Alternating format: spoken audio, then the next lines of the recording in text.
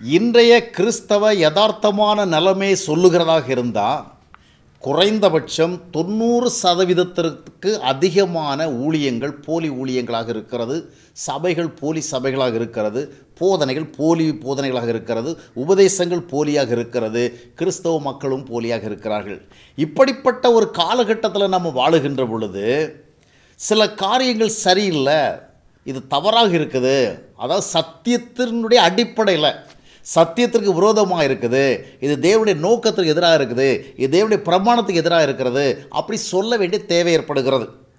இவ்வளவு குறைபாடுகள் மிகுந்திருக்கிற ஒரு காலகட்டத்தில் நாம் நேர்மறையான காரியங்களை மட்டுமல்ல எதிர்மறையான காரியங்களை நம்ம பாயிண்ட் அவுட் பண்ண வேண்டியதான ஒரு நெசசிட்டி இருக்குது அதனால் சில நேரங்களில் இந்த உபதேசம் சரியில்லை இந்த போதனை சரியில்லை தேவனை குறித்து இவர்கள் சொல்லுவது வேத அடிப்படையில் சரியில்லை இந்த விதமான ஆராதனை முறை சரியில்லை இந்த விதமாக காணிக்கை கேட்கறது சரியில்லை இந்த விதமான ஆசீர்வாதத்துக்கு வழிகாட்டுறது சரியில்லை இந்த விதமான வேத விளக்கம் கொடுக்கறது சரியில்லைன்னு சொல்ல நேடுகிறது அந்த மாதிரி சொல்லுகிற வேளையில் இரண்டு பிரிவினர் வருகிறாங்க. முதல் பிரிவினர் யாருன்னா ரொம்ப கோபமான பிரிவினர். இவங்க ஏதாவது காரியங்களை இது தவறு இது சரியில்லை இது சத்தியத்துக்கு எதிரானது இது தேவனுடைய பார்வையில் வந்து தப்பிதமானது அப்படின்லாம் சொல்ல வந்த உடனே இதெல்லாம் நீ எதுக்கு சொல்கிற எந்த ஊழியத்தை பற்றி நீ ஒன்றும் சொல்லக்கூடாது எந்த ஊழியரை பற்றி ஒன்றும் சொல்லக்கூடாது நீ ஒன்றை ஒன்று தான் செய்யணும் என்ன செய்யணும்? சத்தியத்தை பேசு வசனத்தை பேசு சுவிசேஷத்தை பேசு அப்படின்னு அதாவது எச்சரிக்கை கொடுக்குற கூட்டம் இவங்க. இவங்க வந்து இந்த மாதிரி எந்த மத ஊழியங்களையும் பேசக்கூடாது எந்த மத சபைகளை பேசக்கூடாது அதெல்லாம் உன் வேலை கிடையாது. அதெல்லாம் ஆண்டவர் பார்த்துக்குவார். நீ செய்ய வேண்டிய என்ன? சத்தியம் பேசு வசனத்தை பேசு அப்புறம் சுவிசேஷத்தை பேசு. இது இவங்க எச்சரிக்கையோடு சொல்கிறோம் அடுத்த ஒரு குரூப்னர் பார்த்தீங்கன்னா அவங்க உண்மையிலேயே நம்ம ஊழியத்தை விரும்புகிறவங்க தான் இந்த போதனைகளை விரும்புகிறவங்க தான். ஆனால் அவர்களும் என்ன சொல்கிறாங்க அதாவது அவர்கள் எல்லாரும் கிடையாது ஒரு சிறு பிரிவினர். இருக்கட்டும் பிரதர் நிறைய குறைகள் தான் நிறைய தவறுகள் தான் நிறைய சரியில்லை தான். எங்களுக்கு நல்லாவே தெரியுது. ஆனால் இதெல்லாம் இந்த காலத்தில் சொல்லிக்கிட்டு இருந்தால் ஒருத்தருக்கும் புரியாது. நீங்கள் ஒன்று பண்ணுங்க இதெல்லாம் விட்டுருங்க. என்ன பண்ணுங்க? சத்தியத்தை மட்டும் பேசுங்க பிரதர் அதாவது நல்ல அதாவது ஒரு வெல்விஷஸ் இவங்க. ஒரு நல்ல அக்கறை உள்ளவங்க. அவங்க என்ன சொல்கிறாங்கன்னா சத்தியத்தை மட்டும் பேசுங்க பிரதர் நாம் நம்ம வசனத்தை மட்டும் சொல்லிட்டு போவோம். நமக்கு ஆண்டர் கொடுத்த வார்த்தையை மட்டும் சொல்லிட்டு போவோம். யார் எப்படி போகிற நமக்கு என்ன? எந்த ஊழியம் எப்படி இருந்தால் நமக்கு என்ன? எந்த சபை எப்படி போகிற நமக்கு என்ன? எந்த கிறிஸ்தவம் எப்படி இருந்தால் நமக்கு என்ன? அதெல்லாம் பார்க்க வேணாம் பிரதர் சத்தியத்தை மட்டும் பேசுவோம். சுவிசேஷத்தை மட்டும் சொல்லுவோம்.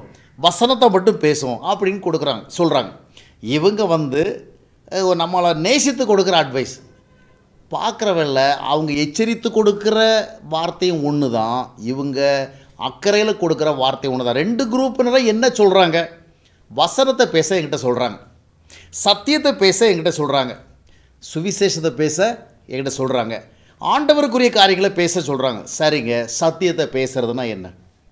அதற்கு ஒரு விளக்கம் கொடுங்க. வசனத்தை பேசுகிறதுனா என்ன? அதுக்கு ஒரு விளக்கம் கொடுங்க. சுவிசேஷத்தை பேசுறதுனா என்ன? ஒரு சரியானதை குறித்து பேசுகிறது சத்தியம்னா என்ன? It is like a light இப்போ யோவான் வந்து எரிந்து பிரகாசிக்கிற விளக்காக இருந்தான். அதனால் நல்லதும் தெரிஞ்சுது கெட்டதும் தெரிஞ்சுது. இயேசு கிறிஸ்துவை குறித்த நல்லதையும் சொன்னான் ஏரோது ராஜாவினுடைய பாவத்தையும் சொன்னான். ஜனங்கள் வந்தாங்க பரிசில் வந்தால் சதுசியர் வந்தாங்க அந்த காலகட்டத்தில் இயேசு குறித்த நேர்மறையான காரியங்களையும் சொன்னான் அவர்களை பார்த்து விரியன் பாம்பு குட்டிகளை என்ன சொன்னான்? மாயக்காரர்கள்னு சொன்னான். அப்போது சத்தியம் அப்படிங்கிறது எது உண்மையோ அதையும் சொல்லணும் எது தவறோ அதையும் சொல்லணும். இந்த ரெண்டையும் சேர்த்து சொல்கிறது சத்தியம். ஒரு இடத்துல வந்து திடீர்னு ஒரு பெரிய விளக்கை கொண்டு வரைக்கும் நல்ல பிரைட்டாக இருக்குது. அப்போ அந்த இடத்துல இருக்கிற சரியானது தவறானது அதை என்ன செய்ய எக்ஸ்போஸ் பண்ணும். வெளி அதாவது வெளியரங்கமாக்குறதெல்லாம் வெளிச்சம். சத்தியத்தை பேசுங்க சுவிசேஷத்தை பேசுங்க வசனத்தை பேசுங்கன்னா அது என்ன அர்த்தம்? வசனத்தை பேசும் பொழுதுதான் சத்தியத்தை பேசும் பொழுதுதான் சரியானவைகளையும் சொல்ல வேண்டியது வருகிறது தவறானவைகளையும் சுட்டி காட்ட வேண்டி வருகிறது. சில நல்ல விஷயங்களை சொல்கிறவில்லை இது நல்லது அல்ல அப்படிங்கிறத சொல்லாமல் இருக்க முடியாது. இரண்டையும் சுட்டி காட்டி பேசுன்னா சத்தியம். பாருங்கள் ஒரு வழி நல்ல வழி. இப்போது எனக்கெல்லாம் நிறைய பேர் கொடுக்குற அட்வைஸின் படி பார்த்தா என்ன நான் செய்யணும்? ஒரு வழி நல்ல வழி. I know it well I very sure about that okay இப்போ என்ன பண்ணுறேன் இது நல்ல வழிங்க இது நல்ல வழி சூப்பர் வழி. இந்த வழியில் நீங்கள் போனீங்கன்னா அருமையாக பிரயாணம் பண்ணலாம். போக வேண்டிய இடத்துக்கு கச்சதோ போய் சொல்லலாம் சொல்லிட்டே இருக்கிறேன். ஆனால் பக்கத்தில் வேறு கொஞ்சம் பேர் இருந்து வேறொரு வழியை காட்டுறாங்க. அவங்க என்ன சொல்கிறாங்க இந்த வழியில் போங்க. இது அருமையான வழி. ரொம்ப நல்ல வழி. இதில் போங்க அப்படிங்கிறாங்க. எனக்கு நல்லாவே தெரியுது. அந்த வழி சரியில்லை. அந்த வழியில் போனால் அவங்க உரிய விதமாக பிரயாணம் பண்ண முடியாது. ஆன் த வேல நிறைய ஸ்ட்ரகிள்ஸ் வரும். அதனால் அவங்க டெஸ்டினேஷனுக்கு அவங்க ரீச் ஆக மாட்டாங்க. இது எனக்கு நல்லாவே தெரியுது. இப்போது எனக்கு அட்வைஸ் கொடுக்குறாங்கல்ல இல்லைன்னா எச்சரிக்கை கொடுக்குறாங்க. இந்த ரெண்டு கூட்டத்தினருமே சொல்லுகிற ஒரு பார்க்கும்போது நான் என்ன வேலை செய்யணும்? ஒரு வழி நல்ல வழின்னு தெரியுதுல இந்த வழியில் போங்க இந்த வழியில் போங்க இந்த வழியில் போங்க. ஆண்டவரே சொல்கிற பொழுது ரெண்டு வழியை சொன்னார். ஒன்று இடுக்கமானது ஒன்று விரிவானது. இதில் போக சொன்னார் அதில் போகாதீங்கன்னார். அப்போது இப்போது எனக்கு கொடுக்கப்படுகிறதான ஆலோசனை இப்படி பார்த்தா நான் என்ன பண்ணுறோன்னு சொன்னால் இந்த வழி நல்ல வழிங்க இது ஆண்டவருடைய வழி இதான் பெஸ்ட்டு இதில் போங்க இதை செய்யுங்க. அதெல்லாம் அங்கே அந்த பக்கத்துலேருந்து என்ன பண்ணுறாங்க அங்கே தான் பெருங்கூட்டமே சொல்கிறாங்க இந்த வழியில் போங்க இந்த வழியில் போங்க இந்த வழியில் போங்க இப்போ நான் வந்து என்ன செய்யணும் நம்ம அதாவது செய்தியெல்லாம் கேட்குறவங்க சொல்லுகிறதாக இருக்கிறது? என்ன செய்யணும்? இந்த வழியை மட்டும் சொல்லுங்கள் பிரதர் அந்த வழி சரியில்லைன்னெல்லாம் சொல்லாதீங்க. ஆனால் அந்த வழியை சொல்கிறவங்க என்ன சொல்கிறாங்க தெரியுமா? இதுதான் பெஸ்ட் வேங்கிறாங்க எனக்கு நல்லாவே தெரியுது அந்த வழி சரியான வழி இல்லை. அந்த நிச்சயத்தில் தான் நான் பார்க்குறேன். ஆனால் நமக்கு ஆலோசனை கொடுக்குறவங்க சொல்கிறாங்க அந்த வழியில் அந்த வழியில் ஏதாவது அவங்க சொல்லிட்டு போட்டோம். நீங்கள் ஒன்றும் சொல்லாதீங்க. இப்போ அந்த வழியில் அதை பற்றி சொல்கிறவங்க என்னை விட கவர்ச்சிகரமாக சொல்கிறாங்க என்னை விட எல்லாருமே வந்து நம்புகிற மாதிரி சொல்கிறாங்க இப்போ நான் என்ன செய்யணும்? இது நல்ல வழி நல்ல வழி நல்ல வழி நல்ல வழி. இதுதான் சத்தியம். இதான் நிறைய பேர் நினைக்கிறாங்க. இப்படியே சொல்லிட்டு இருக்கிற சத்தியம். இது நல்ல வழிங்க இது நல்ல வழிங்க இதுதான் ஆண்டருடைய வழி. அப்படி சொன்னால் அதே நேரத்தில் இதை விட அட்ராக்டிவ் அவங்களும் சொல்கிறாங்க இதுதான் ஆண்டருடைய வழின்னு. இதான் சத்தியத்தின் வழி அவங்களும் சொல்கிறாங்க அப்போ அது வந்து சத்தியத்தின் வழி அல்ல. இது சரியான வழி அல்ல. சொல்ல வேண்டுமா சொல்ல வேண்டாமா? அப்போது சத்தியத்தை பேசு வசனத்தை பேசு. சுவிசேஷத்தை பேசு. ஆண்டவரை பற்றி மட்டும் பேசுன்னு சொன்னால் இதை நான் சொல்லாமல் இப்படி இருக்க முடியும்? இப்போ ஆண்டவராக இயேசு கிறிஸ்து பிரசங்கம் பண்ணார் பாருங்கள் நிறைய விஷயங்களை போதித்தார். போதிச்சுட்டு இருக்கிறவர்களையே அந்த சீடர்களுக்கு என்ன சொல்கிறாரு லூக்கா பனிரெண்டாம் மத்தியத்தினுடைய ஒன்றாம் வசனத்தை நீங்கள் வாசித்து பார்த்தீங்கன்னு சொன்னால் ஒரு சரி இப்போ நமக்கு ஆலோசனை கொடுக்கிறவர்கள் சொல்லுகிற அடிப்படையில் பார்த்தா ஏசுனார் என்ன பண்ணியிருக்கணும்? அவர் என்ன உபதேசத்தை கொடுக்க வந்தாரோ அந்த உபதேசத்தை மட்டும் கொடுக்கணும். ஆனால் இடையில என்ன சொன்னார்? லூக்கா பன்னிரெண்டு ஒன்றில் அந்த கடைசி வாக்கியத்தை மட்டும் கவனித்து பாருங்கள் நீங்கள் மாயமாகிய பரிசேருடைய புளித்த மாவை குறித்து எச்சரிக்கையாக இருங்க. ஏன் இதை சொல்கிறாரு இது எதிர்மறை. அப்போ இதில் ஒரு நெகட்டிவிட்டி வர்றது இல்லையா? ஆனால் அதை சொல்ல வேண்டியது அவசியமாக இருக்குது என்னுடைய நல்ல உபதேசங்களை நீங்கள் கேட்குற வேலையில் எது சரின்னு நான் சொல்லுகிற அதே வேலை எது சரியில்லை சரியில்லை அதை சுட்டி காட்டணும் அவங்க சரியற்றதை சரின்னு சொல்கிறாங்க அப்போது நீங்கள் அதை புரிந்து கொள்ள வேண்டும். ஆம் அருமையானவர்களே சத்தியத்தை சொல்லு வசனத்தை சொல்லு சுவிசேஷத்தை சொல்லுன்னு சொல்கிறவங்கள அதைத்தான் நான் செஞ்சிட்டு இருக்கிறேன். அதை சொல்லுகிற வேளையில் சில காரியங்கள் தவறாக இருக்கிறேன்னு சொல்லாமல் இருக்க முடியாது. சில ஆராதனை முறைகள் சில காணிக்கை கேட்கிற முறைகள் வேத வசனங்களுக்கு கொடுக்கின்றதான விளக்க முறைகள் தேவனை குறித்து கொடுக்கிற சொல்லுகிற காரியங்கள் சத்திய சம்பந்தப்பட்ட விளக்கங்கள் இவைகளை அடிப்படை அறிந்து வைத்திருக்கிற பொழுது தவறானவைகளை சொல்லாமல் இருக்கவே முடியாது. அப்படி சொல்ல சரியானதை மட்டும் சொல்ல சொன்னால் அது சத்தியமாகவே இராது. இப்போது நீங்கள் வந்து மற்ற இருபத்தி மூன்று இருபத்தி மூன்றை வாசித்து பாருங்கள் இப்போது நான் நம்ம நியாயப்படி பார்த்தா என்ன? ஆண்டவர் வந்து எது நல்லதோ அதை மட்டும் சொல்லணும். ஆனால் திடீர்னு என்ன பண்ணுறாரு தெரியுமா? இந்த மாயக்காரராகிய வேதபாரர் இருக்கிறாங்களே பரிசை இருக்கிறாங்க என்ன பண்ணுறாங்க தெரியுமா? உரதலாமிலும் வெந்தயத்திலும் ஜீரகத்திலும் தசவபாகம் கொடுத்து அப்படின்னு ஆரம்பிக்கிறார். ஏங்க அவங்க வெந்தயத்தில் தசவம் கொடுத்த உங்களுக்கு என்ன? நல்ல காரியம் தானே செய்கிறாங்க ஜீரகத்தில் தசவம் கொடுத்தானே கொடுக்க முடியாத சட்டம் வேறு இருக்குது அந்த காலத்தில். அதை செஞ்சால் உங்களுக்கு என்ன? கேட்கலாம்ல? இன்றைக்கி இயேசு கிறிஸ்து அன்றைக்கு பேசின மாதிரி ஒரு தான் இன்றைக்கி பேசுகிறான்னா பிரதர் நீங்கள் ஏன் அதெல்லாம் பேசுகிறீங்க அவங்க வந்து வெந்தயத்தில் தசவமாக கொடுத்தா அது என்ன கெட்டதா? இல்லை ஒரு தடவை தசவம் கொடுத்தா கெட்டதா? ஜீரத்தில் கொடுத்தா கெட்டதா? அதை பற்றியே நீங்கள் பேசு நீங்கள் சொல்ல வந்து சொல்லுங்கள் பிரதர் அப்போது ஆண்டவங்க என்ன சொல்கிறேன்னா இதிலெல்லாம் நீங்கள் கரெக்டாக இருக்கிறீங்களே. ஆனால் உங்ககிட்ட இரக்கம் கிடையாது உங்கள்கிட்ட அன்பு கிடையாது உங்கள்கிட்ட நீதி கிடையாது.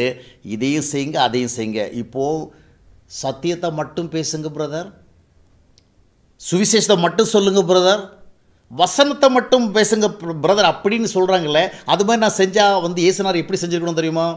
நீதியுடையவளாக இருங்கள் இரக்கமுடையவளாக இருங்கள் அன்புடையவளாக இருங்கள் மட்டும் தான் சொல்லியிருக்கணும். ஆனால் அவர் என்ன சுட்டி காட்டுறாரு நீங்கள் ஜீரகத்திலையும் வெந்தயத்திலையும் கடுகுலையும் அதிலையும் இதில் எல்லாத்துக்கும் கரெக்டாக தசவமாக கொடுத்துட்டு ஆண்டவர் விரும்புகிற அன்பில்லாமல் இரக்கமில்லாமல் இருக்கிறீங்களே பாவிகளே அப்படின்னார். அப்போ அங்கே வருகிறதா இல்லையா? சத்தியம் அதுதான். சரியற்றவளை சுட்டி காட்டாமல் சத்தியத்தை சொல்ல முடியாது. இன்னொன்று பார்த்தீங்கன்னா சத்தியத்தை தான் பேசணும் சு- தான் பேசணும் வார்த்தையை தான் பேசணும் ஆலோசனை ரைட்டு. இப்போது நாம் வந்து ஒரு நல்ல கம்பெனியினுடைய ரெப்ரசன்டேட்டிவ் சேல்ஸ் ஏஜென்ட்னு வச்சுக்கலாம் சேல்ஸ் ஏஜெண்ட்டாக எக்ஸிக்யூட்டிவ் நம்ம லெவலுக்கு யாராவது ஒருத்தராக இருக்கிறோம். நம்முடைய கம்பெனியினுடைய ப்ராடக்ட்டை பற்றி நமக்கு நல்லாவே தெரியும். இதுதான் நம்ம கம்பெனியுடைய ப்ராடக்ட் இதனுடைய குவாலிட்டி என்னன்னு தெரியும். இப்போ இந்த ப்ராடக்ட்டை விற்க போகிறவெல்லாம் அங்கே இதே மாதிரிப்பட்ட ப்ராடக்ட்டை விற்றுட்டு இருக்கிறாங்க. அதை பார்த்தா நமக்கு நல்லாவே தெரியுது. இது நம்ம கம்பெனி ப்ராடக்ட்டு கிடையாது. அது வந்து டூப்ளிகேட்டு நம்ம கம்பெனி ப்ராடக்ட் மாதிரியே இருக்குது. நிறைய ஃபங்க்ஷன் அப்படியே இருக்கும். ஆனால் இது வந்து நம்முடைய கம்பெனி ஒரிஜினல் ப்ராடக்ட் இல்லை. இப்போது இந்த ப்ராடக்ட்டை விற்க போகிற சேல்ஸ் ஏஜென்ட்டு இல்லைன்னா ஒரு அதில் சேல்ஸ்மேன் போகிற வேலை பார்க்குறான். அங்கே உள்ளவங்க என்ன சொல்கிறாங்க இதுவும் உங்கள் கம்பெனி ப்ராடக்ட் தானே? இதுவும் அவங்க சேல்ஸ் பண்ணுறாங்க நீங்கள் இவ்வளோ விலை சொல்கிறீங்க அவங்க வந்து கம்மியாக சொல்கிறாங்க எல்லாம் ஒன்று தானே அப்போ நீங்கள் என்ன பண்ணுவீங்க? எங்களுடைய கம்பெனி ப்ராடக்ட் இது. இது நல்ல ப்ராடக்ட் இது நல்ல பொருள். இது நல்ல பொருள். இது நல்ல பொருள் வாங்கி உபயோகிக்க சொல்லுவீங்களா? அவங்க என்ன சொல்லுவாங்க? நாங்கள் அதை வாங்கிட்டோமே. ஏற்கனவே நாங்கள் வாங்கிட்டோமே. அப்போ நம்ம வந்து சொல்ல வேண்டிய ஒரு சூழல் வருது. இது எங்கள் கம்பெனியுடைய பொருள் கிடையாது. அது அந்த மாதிரி தோன்றுகிறது. அது டூப்ளிகேட்டு அது ஃபால்ஸு அது சில சொல்லணுமா சொல்ல வேண்டாமா? அப்போது நாம் நம்ம நியாயத்தில் பார்த்தீங்கன்னா ஏ உன் கம்பெனி பொருளை பற்றி மட்டும் சொல்லுப்பா அடுத்தவங்க கம்பெனி பொருளை பற்றி ஏன் சொல்கிற அவன் டூப்ளிகேட் பண்ணி போடுறான்ப்பா. இப்போ நாம் ஆண்டவரை அறிந்திருக்கிறோம் சத்தியத்தை அறிந்திருக்கிறோம் உண்மையை அறிந்திருக்கிறோம் தேவனுடைய வழி என்று புரிந்திருக்கிறோம் தேவனுடைய உண்மையை புரிந்திருக்கிறோம் இவ்வளோ விஷயங்களை ஆண்டவர் நமக்கு கற்றுக் கொடுத்துருக்கு அறிய வச்சிருக்கிறாரு. இப்போது ஆண்டவரை குறித்து நீங்கள் சொல்கிறது டூப்ளிகேட்டாக இருக்குது. வசனத்து கொடுக்குற விளக்கம் டூப்ளிகேட்டாக இருக்குது. மாதந்தோறும் ஒரு வாக்குத்தத்தோட வர்றீங்க வந்து சொல்கிறீங்க ஆண்டவர் சொன்னான்னு ஆனால் ஆண்டவரை அறிந்து அடிப்படை நாம சொல்லுவோம் இல்லை ஆண்டவர் கொடுக்க மாட்டேங்குது இந்த ஆண்டவர் எங்களுக்கு தெரியும். வசனத்தை பாருங்கள் சத்தியத்தை பாருங்கள் புதிய உடன்படிக்கையை பாருங்கள் உங்களுக்கு நல்லா விளங்கும். இப்போ நான் என்ன சொல்கிறேங்க நீங்கள் அதெல்லாம் சொல்லாதுங்க பிரதர் இல்லைங்க ஆண்டவருடைய உண்மைகளை சொல்லுகிற பொழுது உண்மை அல்லாதவைகளை உண்மையாக காண்பித்து செய்கிற காரியங்களை சுட்டி காட்டணும் இன்றைக்கி நிறைய பேர் எல்லாம் என்ன சொல்றாங்க இது ஆண்டவருடைய வார்த்தை இது ஆண்டவருடைய வசனம் இது ஆண்டவருடைய ஆசீர்வாதம் ஆண்டவர் இப்படி இப்படி தான் பண்ணுறாரு கொள்கிறாரு அதனால தான் இவ்வளோ காணிக்க தவறான உபதேசங்கள் ஆராதனை தவறான உபதேச உபதேசங்கள் தீர்க்கத்த தவறான தீர்க்க தரிசனங்கள் தவறான வாக்குத்தத்த அறிவிப்புகள். ஜனங்கள் உண்மையிலேயே ஆசீர்வதிக்கப்படுவதற்கான தேவ வழி எது தெரியுமா? தேவ உறவோடு வாழ்கிறது தேவகுமார் அதுக்காக தான் கொடுக்கப்பட்டான்னு யோவான் மூன்று பதினாறில் வாசிக்கிறோம். யோவான் ஒன்று பதினில் வாசிக்கும் பொழுது ஆண்டவராக இயேசு கிறிஸ்து ஏற்றுக்கொண்டு தேவனுடைய பிள்ளையாக வேண்டும் அந்த பிள்ளையாக ஆசீர்வாதம் இருக்கிறது என்று எபேசர் ஒன்று மூன்று சொல்லுகிறது. ரோமர் எட்டு பின்னர் சொல்லுறது பிள்ளையான சுதந்திரமாமே இதுதான் ஆசீர்வாத வழி. நீங்கள் என்ன பண்ணுறீங்க மாதத்தில் முதல் நாள் வந்து இந்த மாதிரி உங்களுக்கு வாக்குத்தத்தம் கொடுத்துருக்காரு. இதை நீங்கள் விசுவாசிக்க கை வச்சு ஜெபம் பண்ணுங்க. இதை நீங்கள் பைபிளுக்குள்ளே வச்சீங்க உங்களுக்கு ஆசீர்வாதம் வரும்னு சொல்லி கொடுக்குறீங்க.